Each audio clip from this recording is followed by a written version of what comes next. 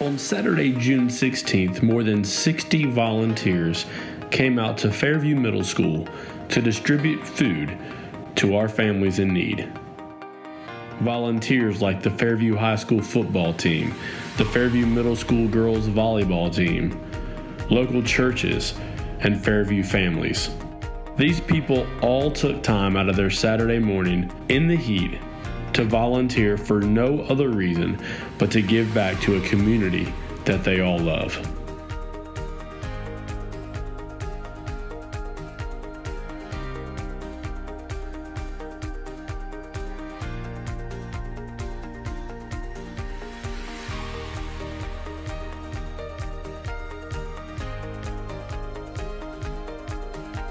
From 8 to 10:30 a.m., more than 240 families received food, representing some 581 individuals from Fairview and surrounding communities.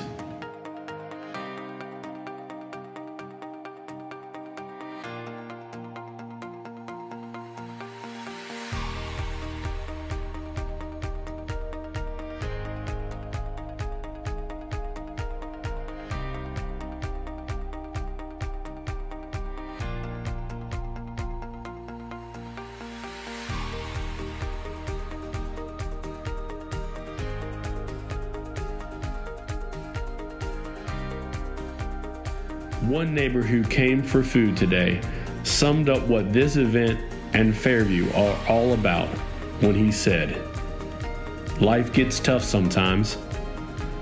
Thanks to all you guys for doing this today.